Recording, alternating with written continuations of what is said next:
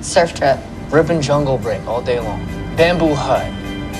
Cooking a fish on a fire. And after that, you go back out. and Just hit the waves again.